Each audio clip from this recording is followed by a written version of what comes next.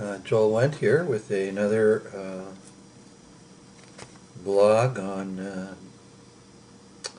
Second American Revolution. I want to expand a little bit about what I from what I did last time, in which I brought forward the idea that uh, Washington was a kind of, you know, I guess we could say psychological swampland, moral swampland, in which uh, there were influences that created corruption. These largely had to do with money interests. And the corruption they affected was the politician, many of whom are uh, addicted to power. And my feeling is that this language is going to give us a more accurate representation of what we look at when we look at the dynamics of what goes on in Washington. We see for example, in the recent healthcare uh, debates, a lot of argument over various ideas. But the fact is, if you really look at it, it's not these ideas that people are arguing over. They're by and large arguing over power. And uh, when you look at certain individuals and the way they act, you can see that they're much more interested in their exercise of power than they are being idealistic over one thing or another the idealism is a kind of uh,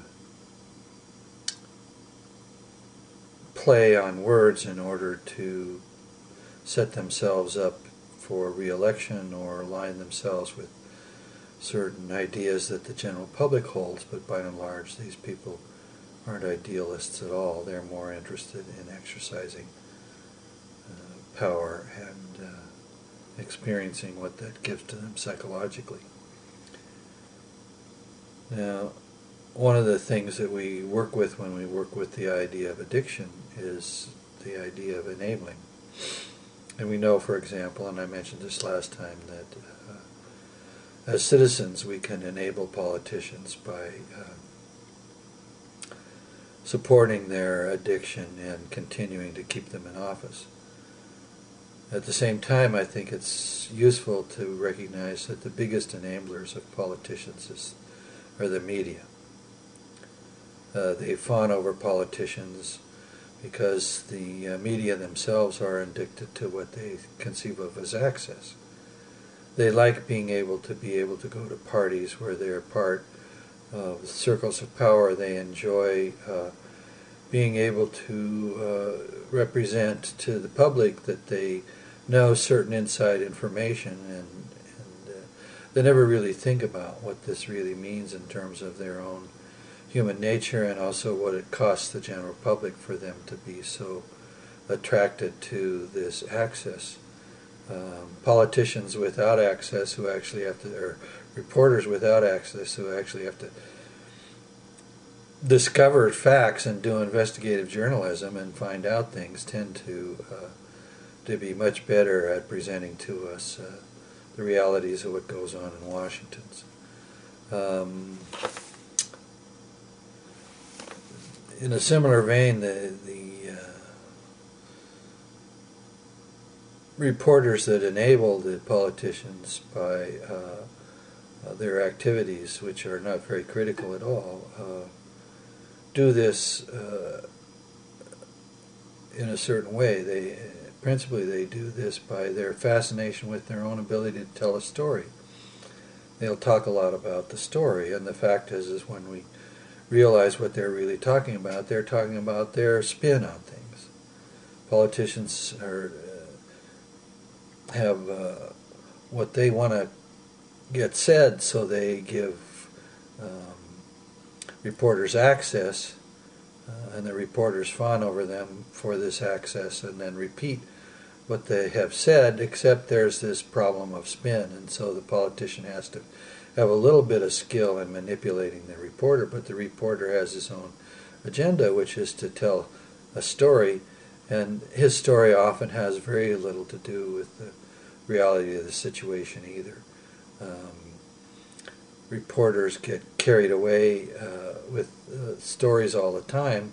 We know this when we see the kinds of things that where uh, things that go on with celebrities become big items of news, or when the when the boy was flying around in the balloon and the press got carried away with it. Uh, a lot of what's on the news uh, simply represents efforts by reporters to have something to say. And unfortunately, a lot of times when they have things that they think they have to say, it amounts to nothing more than speculation. if we listen very closely, for example, with the recent attack on a United States airliner, uh, for first three or four days of the news cycle concerning this event, uh, what the reporters basically did was report speculation. And they would find people who they claimed were experts on the situation, who basically were experts on speculation. And so the whole thing was framed in terms of speculation, and very little uh, of the truth of anything was in there. And this is one of the main things we need to appreciate when we look at, at the news, at the enabling done of the addicts to power the politicians by the news people, is that uh, the ultimate product of this is an absence of reason and of the truth. Uh, what we get from the news is neither the truth nor rooted in reason.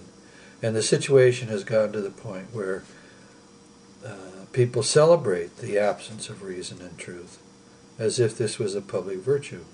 We see this in such personalities as, as uh, Glenn Beck and Ann Coulter and even Keith Olbermann in a certain sense because um, we all have egos and the ego has a certain vanity about its opinions and people treat their opinions as if they were eternal verities, eternal truths, and you can sort of see through the speech that is made by many people with, who are talking heads on TV. They don't actually have anything to say.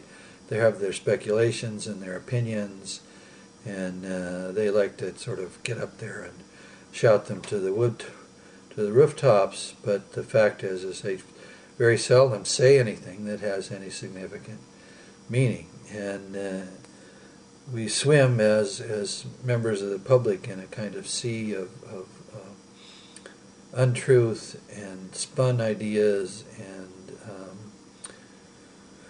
connections made that don't have any reason as their basis. Uh, when the press uh, talks to politicians, by and large, as part of their enabling activity, they just take as a given that the politician's opinion is what has the meaning, and they never really double check and uh, ask the politician the kinds of questions that should be asked.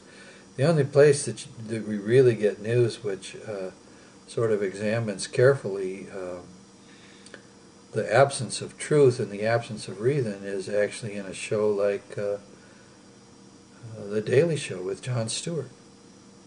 They at least will show us what the politician said two weeks ago or three months ago, in which he totally contradicts himself.